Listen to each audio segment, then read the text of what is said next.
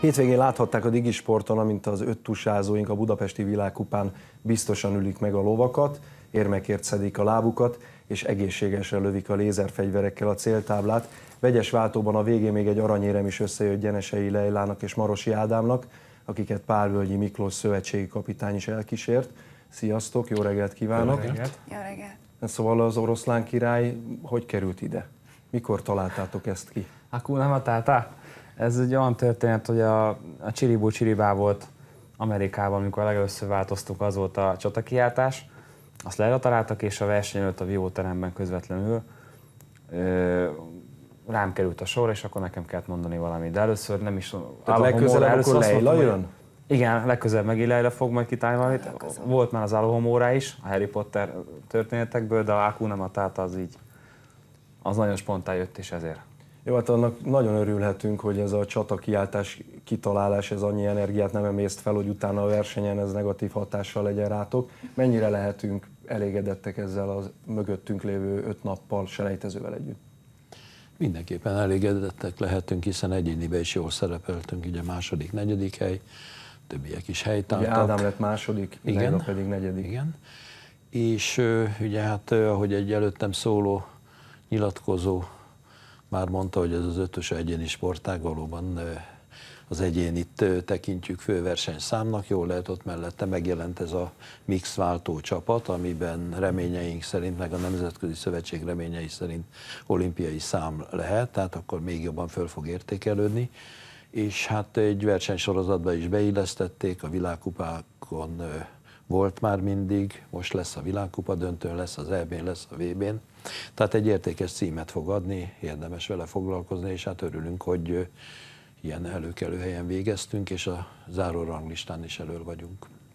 Nem tudom, hogy vannak-e olyan levonható tanulságok, esetleg újítások, amik egy-egy világkupa versenyen feltűnnek, de Ádám versenyét, aki nézte, és szokott öt tusát amúgy is szemlélni, az arra lehetett figyelmes, hogy Cook, akivel a végén az aranyéremért futottál és lőttél, egészen újszerűen tüzelt, semmifajta célzást nem lehetett nála látni, tehát nem tartotta ki a fegyvert, és ezzel másodperceket nyert. Nem tudom, hogy te ebből éreztél-e valamit, verseny közben nyilván nem tudtad ezt nézni, de utólag... Hát azért érzékeltem valamit, tehát azt, azt hallottam, hogy nagyon-nagyon gyorsan fufogtat mellettem valaki, de hát valóban nagyon gyorsan lőtt, és hát ő elképzelhető, hogy ez, a, ez lesz a sportának a jövője, hogy beemelem, sütöm, beemelem, sütöm, és tulajdonképpen itt a cédásnál nem is lesz túl nagy jelentősége a dolognak. Egyébként ilyen 7,3, 7,4, 7,5-ös lövéseket adott le, tehát tulajdonképpen azon a határon mászkált. Ugye ezt te most éppen, másodpercben hogy... a nézőknek mondom, hogy ezt másodpercben kell érteni, és azt nem, nem, nem, nem, ez, ez úgy, hogy be van állítva a tábla, hogy a 7,2-től Tehát a hetes, Ugye, ugye csak akkor jelez a gép, hogyha sikerül a hetesen belőle tüzelni. És épp, hogy, épp, és hogy ő neki épp, hogy sikerült. Tehát gyakorlatilag célzás nélkül lőtt. Most akkor elképzelhető, hogy a válogatott erre fog edzeni, hogy célzás nélkül találjon? Hát én nem tudom, hogy erre fogunk-e most ebbe a pillanatban.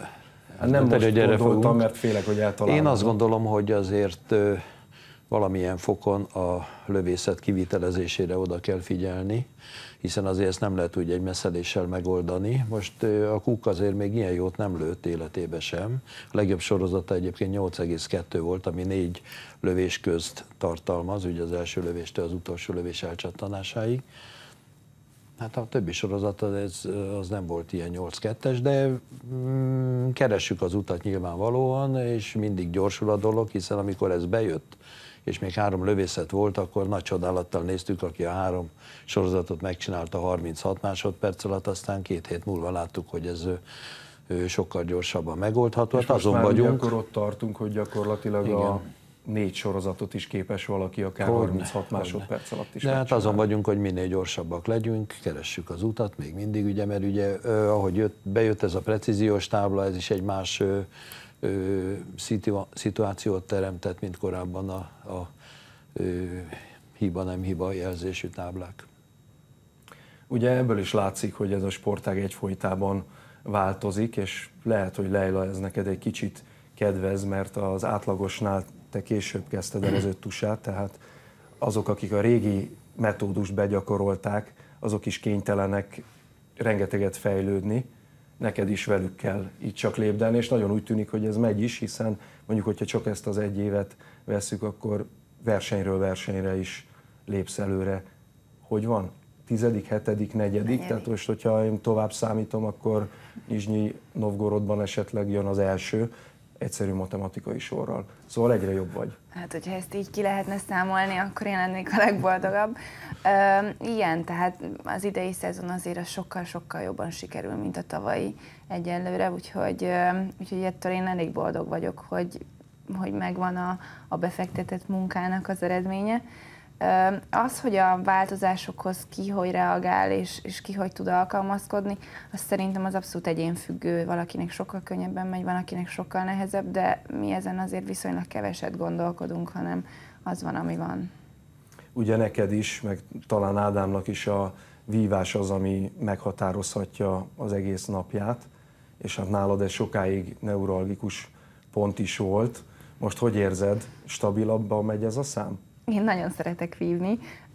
Én soha nem ér, érzem azt, hogy, hogy, hogy ezen el vagy bukik az én versenyem, csak, csak mondjuk egyszer annyira jó érzés lenne. Igen, annyira jó érzés lenne úgy neki indulni a második számnak, hogy mondjuk 9-essel kezdődik a pontszámom, tehát 900 valamennyi azért az egy egészen más pozíció lenne, de, de hát ezért dolgozunk mesteremmel, Magyar Istvánnal, hogy, hogy egyre jobban és jobban tudjunk, tudjunk teljesíteni. Én úgy gondolom, hogy bennem van, tehát nem a technikai tudás az, ami, ami hiányzik, hanem, hanem lehet, hogy a lelkemben kell még egy falat áttörni, hogy meg legyen az a, az a kívánt pontszám.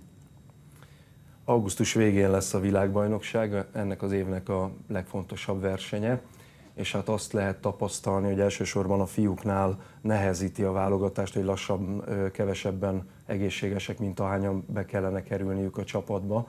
Ugye Kassa korábban megsérült, és Tibolya pedig most a döntőt már nem tudta vállalni.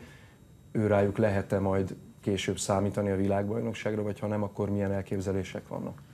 Azt gondolom, hogy mind a ketten rendbe fognak jönni. A Kassa Robi már mind az öt számba edz versenyre még nem akartuk engedni, és hát nem is képes még egy versenyt végigcsinálni, de talán a június közepén megrendezett Kremkupán fog indulni, ebben vb szerintem mindenképpen.